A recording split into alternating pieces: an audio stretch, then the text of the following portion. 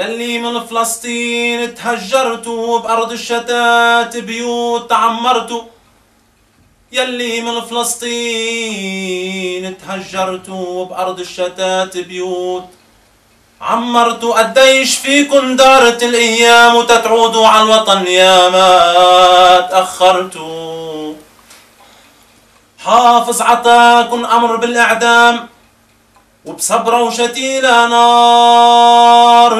جمرتوا حافظ عطاكن أمر بالإعدام وبصبرة وشتيلة نار.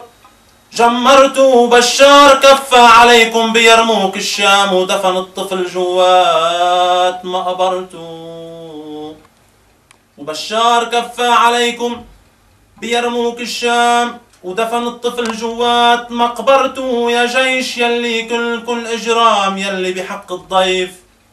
اجرمتوا لك يا شبيحة يلي كلكن إجرام يلي بحق الضيف أجرمتوا آه من هالعمر يا حكام.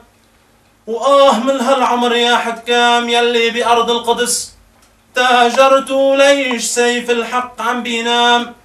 وين العدل؟ وين صار محكمته وليش سيف الحق عم بينام؟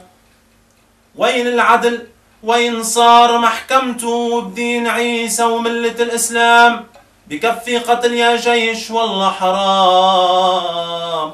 والدين عيسى وملة الإسلام بكفي قتل يا جيش والله حرام. لو ضيفي يهودي بالله أكرمته لو ضيفي يهودي بالله أكرمته أخ يا فلسطين. الله يعطيك العافية. شو بتحب تقول كلمة توجه كلمة للشعب الفلسطيني بهالحادثة الأليمة اللي عم تصير بالمخيم بخيم الميرموك بكل مخيمات سوريا تقريبا صار مجازي. والله يا أخي الكريم يعني نحن يعني شو بدي ما في كلام يعبر عن عن المأساة اللي عم يقضيها معنا الشعب الفلسطيني.